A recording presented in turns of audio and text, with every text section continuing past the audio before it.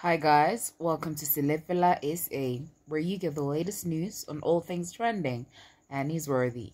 Now don't forget to like, share, and subscribe to my channel.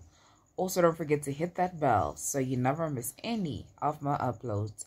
KZN Premier Sihle Zikalala had to be protected by his bodyguards and the police when angry councillors stood in his way from addressing members at the council meeting for the election of the new mayor of Umkhanyakude district. Video of angry councillors have been trending all over social media platforms. The councillors have lost trust in Mr. Zikalala as heard in the video, while another councillor is heard shouting he must leave.